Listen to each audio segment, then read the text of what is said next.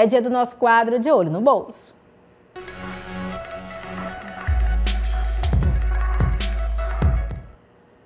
Olha só, a faixa etária dos 20 anos é uma fase em que muitas pessoas iniciam a vida profissional e, consequentemente, a vida financeira. Esse é o momento em que uma parte dos jovens começa a lidar com o próprio dinheiro e requer novas responsabilidades que devem ser levadas em conta, viu?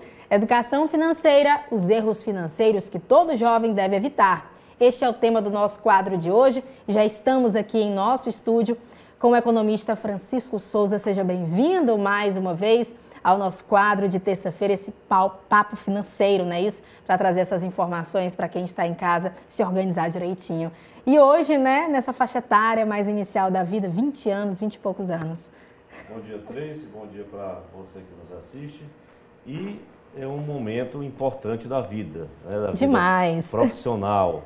É, desejos, anseios, perspectivas e para muitos que já começam a trabalhar, né, ter uma renda. E aí é importante é, ter essa fase inicial da vida, ter esse controle, ter esse planejamento, começar a se organizar, porque muitas vezes, em virtude de seu momento é, inicial da vida profissional e pensar, ah, mais na frente eu tenho tempo e eu vou curtir a vida. Né? Tem que começar de cedo, na verdade. E é mais é importante né, ter um equilíbrio.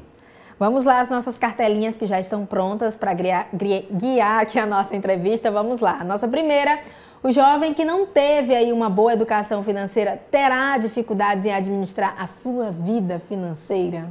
Até uma pergunta a princípio óbvia. Sim. Né? Mas a gente percebe que em relatos é, existem muitos jovens que é, estão é, dentro daqueles dados até que consta de inadimplência, a partir do momento em que começam a ganhar o seu dinheirinho ali, a ter uma renda, e aí se tem é, é, demandas. Ele deseja comprar um celular, comprar um transporte, né, comprar roupa é, e vários anseios que estão ali acumulados. E aí esse momento inicial é importante porque, é, senão, como eu disse antes, é uma fase, é uma página em branco da sua vida financeira. Você tem que começar a escrever ela de forma correta. Né? Então, é uma questão, a princípio, óbvia, mas muitos, muitos jovens né, terminam já iniciando de forma descontrolada. Isso define muito o futuro, né? O futuro, Porque exatamente. É um passo que você começa na vida jovem, pode se tornar uma bola de neve quando você estiver adulto, já um comportamento, um hábito, né?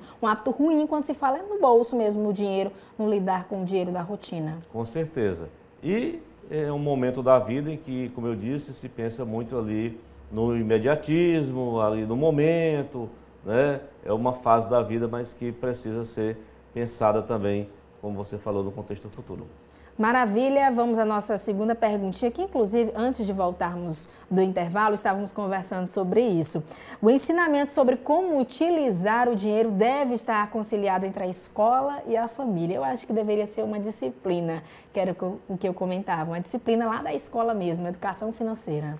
Com certeza, e é algo que é, é, os estudos, os levantamentos demonstram que na cultura do brasileiro não existe essa questão do planejamento financeiro e deveria ter essa rotina no dia a dia, na formação. Já existem movimentos nesse sentido, muitas escolas a nível de Brasil, né, e para que se tenha essa conciliação entre escola e família. Né? Essa nossa próxima pergunta é bem interessante porque realmente, quando você começa a pegar no dinheiro, se você já tiver essa consciência de economizar, você pode juntar um bom dinheirinho e já entrar na vida adulta e, quem sabe, com uma conta poupança daquelas, né? A nossa terceira pergunta é a seguinte: como o jovem ainda não tem todas essas obrigações, contas, faturas para pagar, este é um bom momento para aprender a economizar ali já no início. Exatamente, porque uh, é preciso pensar no futuro, como a gente falou.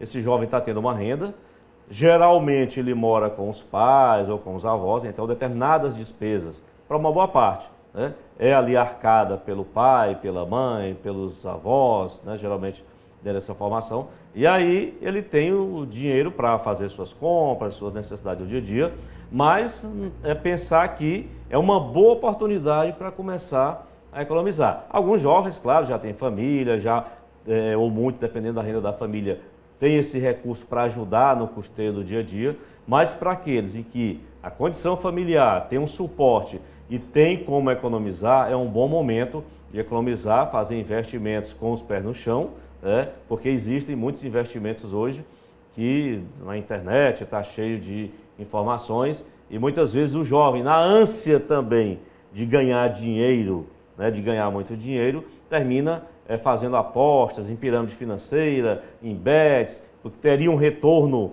né, muito alto. E aí é importante pensar nesse planejamento de investir uma parte do que você ganha, né, para que possa ter, adquirir um imóvel no futuro e construindo um patrimônio, né, que aí se vai empreender, né, se vai se tornar, qual é a atividade que pretende desenvolver na sua vida profissional, mas ali fazendo essa base, esse alicerce para a sua vida financeira. Que aí, naturalmente, isso traz mais tranquilidade no futuro é, para conciliar a vida profissional, a vida social e ter condições de ter uma vida até melhor. Porque se estourar todo esse dinheiro agora que está ganhando, né, com, na vida social, e aí vai ficar depois o quê? Né? É claro, é verdade. é importante ter a sua vida social, aproveitar o momento da vida, mas pensar também a médio e longo prazo.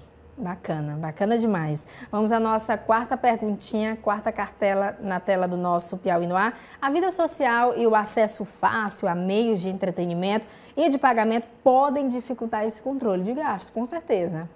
Então, a vida social hoje é muito agitada. Demais. Nós estamos chegando é, próximo ao final de ano, Sim, muitas, muitas festas, festas, confraternizações. É, muitas confraternizações.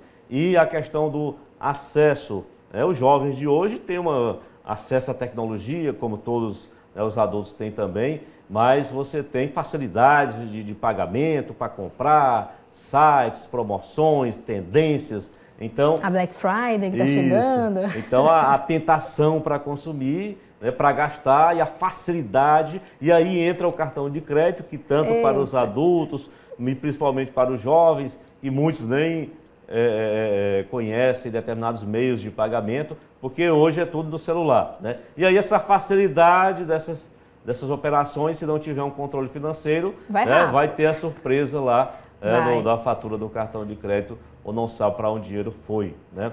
Porque aí vai um lanche, é a pizza, né, ali a, a, a, no dia a dia com os amigos, né, ou para festa, Sim. e aí o dinheiro evaporou no final do mês. Né, então, os meios que existem hoje dão essa facilidade para gastar. Olha só. Vamos aí à nossa próxima cartelinha na tela do Piauí no Ar. Muitos influenciadores estão aí nas redes sociais fazendo recomendações, criando conteúdos sobre finanças. É uma, é uma boa opção para aprender sobre esse assunto? Então, como a gente até comentou, a questão do uso é, das apostas, tentar ganhar. E existe muita gente nas redes sociais, né, e, todo dia a imprensa noticia né, é, golpes né, que é, aparecem pessoas com uma conversa muito bonita, dando orientações quanto a em vista dessa forma, faça assim. Então é importante esse jovem ter né, essa análise até que ponto comparar informações, porque existe muita gente querendo se dar bem e aí o jovem está ali buscando conhecimento, buscando informação, mas saber se essa informação é verdadeira, buscar fontes confiáveis para adquirir esse conhecimento. Tem dezenas, milhares de vídeos de pessoas passando orientações, mas né, nem sempre Tem são as orientações. direitinho. É, as orientações são as corretas ou são as ideais. Então, é importante ter essa atenção também né, quanto ao que realmente está vendo e ouvindo. Pode assistir aqui o nosso Piauí no Ar, não é isso? Exatamente.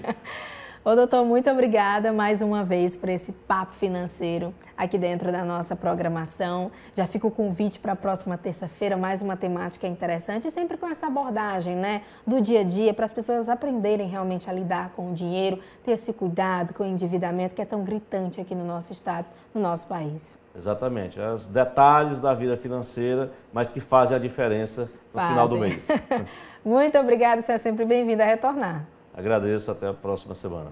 Lembrando a você que a nossa entrevista vai constar nas nossas plataformas YouTube e Instagram da nossa TV Antena 10. Esse foi o nosso De Olho no Bolso de hoje.